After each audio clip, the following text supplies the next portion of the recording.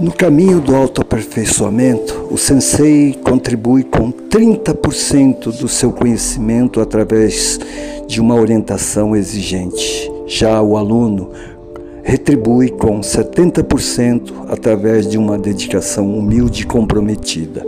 No karatê raiz, não existe o desejo de vencer ninguém, a não ser a vaidade e a ilusão da autossuficiência, independente do dan atingido.